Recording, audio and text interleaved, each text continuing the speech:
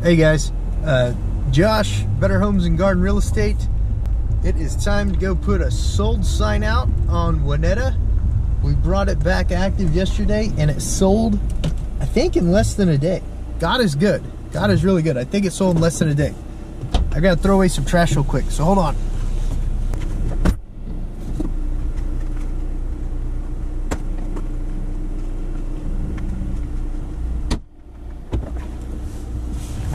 Okay, I'm back. So we're gonna go put a sold sign out on Winetta and uh, drop off some earnest money on my wife and I's potential new home.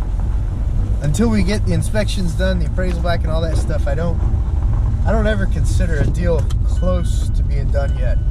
But you guys will get to watch me put the sold sign out on Winetta. I haven't even had a chance to put a sign in the ground yet since we brought it back active and it already sold.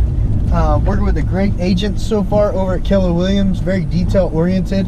Um, got some clarifications on the disclosures for her buyers, great job for her.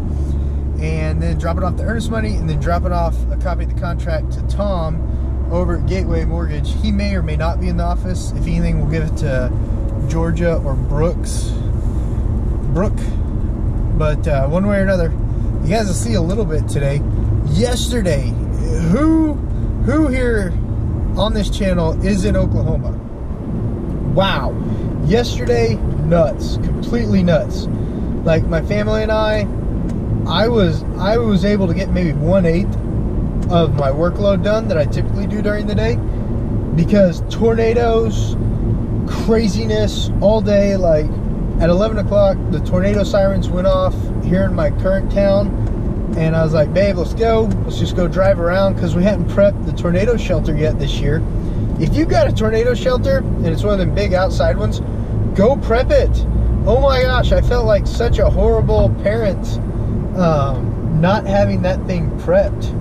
So, uh, prepped that after the first bout of storms went through. Spent about two hours prepping it. It's not even done, but it, it, it was it was it would suffice right now. Like I need to prep it some more over the weekend, um, and I'll be doing that. And I'll, I'll try to record some of that too, so you guys can see me messing around in the storm shelter. Um, but wow, those storms were crazy yesterday. So, yeah, that's about it. I hope I have my phone. No. No way did I leave my phone. Ah, there it is. It almost fell out of my pocket. That's why I didn't have it. If you guys don't have these, uh, don't have a Jello app in your car for charging your phones, I would recommend one. I mean, I know, I know you can plug it into the USB, you can plug it into the 5 volt DC or whatever, stuff like that. But those don't really charge my phone. This little, this little amp right here, this little Jello amp, this thing is amazing. It charges my phone just like a wall plug. It is amazing. So, yeah, if you don't have one of those and your phone takes a while to charge on the USB charger or the 5 volt DC plug-in, look into those. It's like 20 bucks. It's like 20 bucks. And I used to be an Amazon marketer or something. I don't exactly remember what that name was but they cut me off the program because I guess no one ever bought anything from the videos that I did. They weren't good enough. So just Google it. Put it in Amazon. Jello 300 watt card volt adapter thingy. Oh wow, one of my signs is still up after all those storms yesterday. That's great. And yeah. All right, guys. Well, I'll see you when we're putting that sold sign out. See you soon.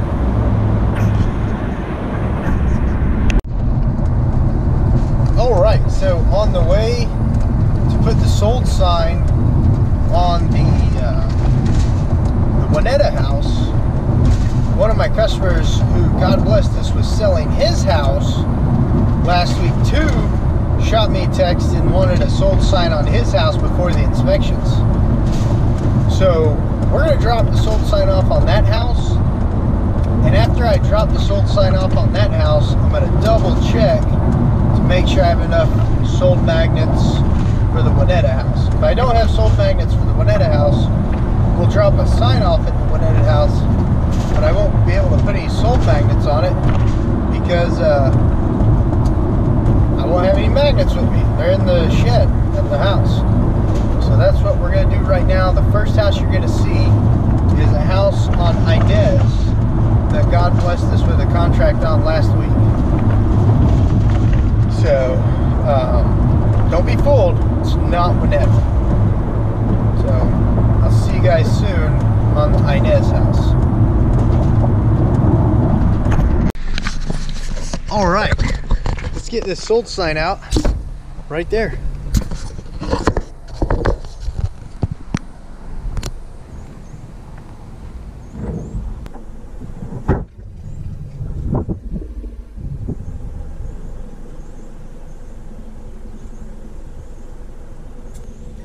All right, got the sold sign out. And there's plenty of sold magnets in my trunk for the next house too. So I'm super excited about that. So, um, so with the plenty of sold magnets for the next one, uh, we'll be able to put sold magnets out on Winetta. But there is the sold magnets on Inez, and that's a beautiful little property right there. All right, the mail lady's coming up ahead, so I'm gonna stop recording, get back on the turnpike, and head over to Winetta like originally planned. All right, guys, I'll see you in Winetta. Guys, I am so sorry.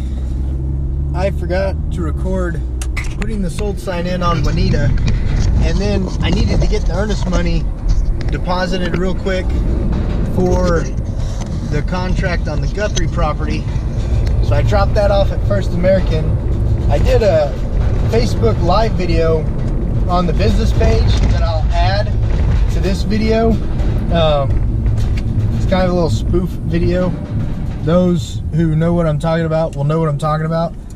Uh, those who don't know what I'm talking about, they'll probably you'll you'll enjoy the video too. You'll you'll enjoy the video either way.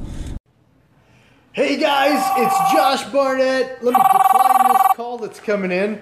It's Josh Barnett, Better Homes and Garden, coming at you again with, you know, I'm always asked, what's the number one thing real estate agents need to close a deal? And I have to say, on 99% of all tractions, transactions, to get a contract to close, you've got to have lenders.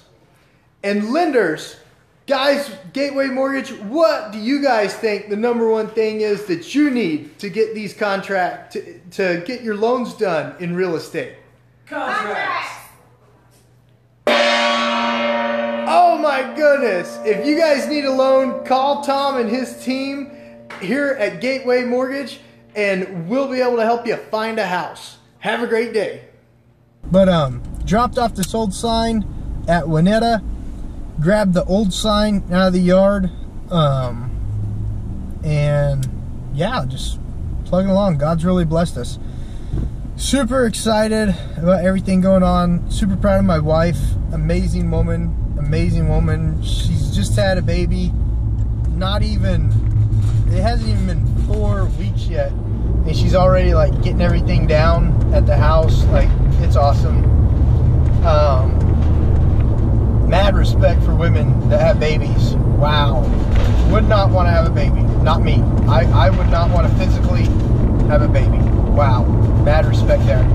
So now I'm gonna go home we're gonna go grab the old earnest money on the old house. You know don't life's too short to get mad at YouTube. So um, enjoy yourselves. Hope you guys are having a super successful day. Hope you guys are getting all your cold calls in getting all your contracts written and things of that nature. And I might film some in Stillwater. I might not. I don't know yet, but I will chat with you guys later. Have a great day. All right, had to come back in real quick. Um, relationships in every business are super important.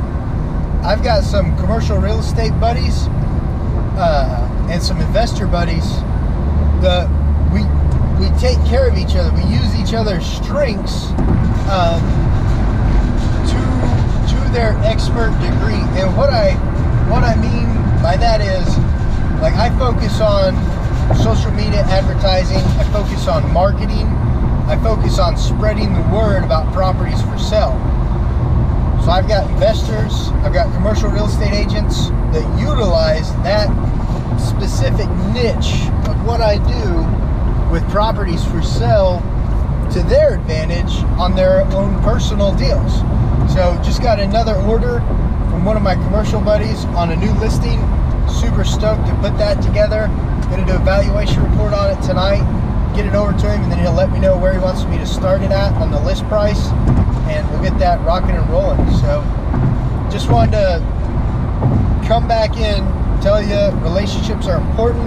Even people in your industry you want to make relationships with because you're not always both going to be working in that specific same sphere, in that specific um,